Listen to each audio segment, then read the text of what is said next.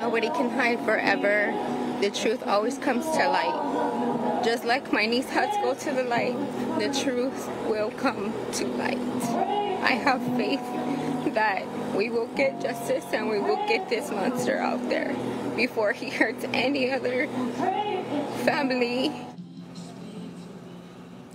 Police have interviewed at least two men in the case, but so far no arrest. Crime Stoppers is offering a $5,000 reward for anyone with information that leads to arrest. Now, if you know anything that can help crack this case, Kaitlin's family is pleading that you come forward.